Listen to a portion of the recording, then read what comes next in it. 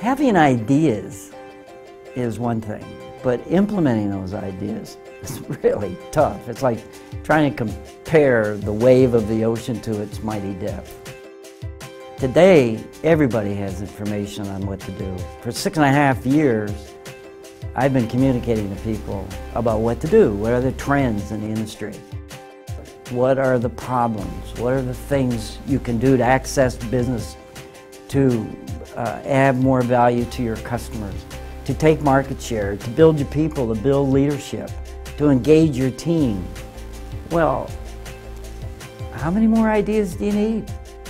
I've just learned recently that from uh, about 40 people at 10 of my small group dialogues that thank you Kevin for the ideas. I know these things, but I have to get these things done.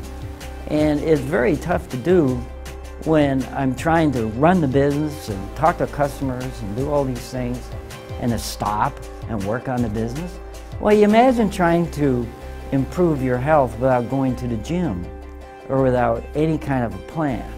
I promise you, I'll do whatever it takes to drag this potential out of you and you will author it all. It will be the business you want. So I'm providing a structure this winter for a handful of people who have the fire in the belly, who see an opportunity to grow the business, but they just don't have the time or, or the expertise to get it done.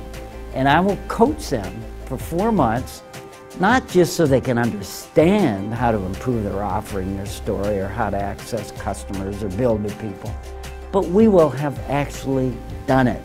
We will practice in my meeting room. You will go back and apply it in your company, in your marketplace, and then we'll get back again. So we'll meet once a month for four months, and we will get this done. This is not just an educational thing.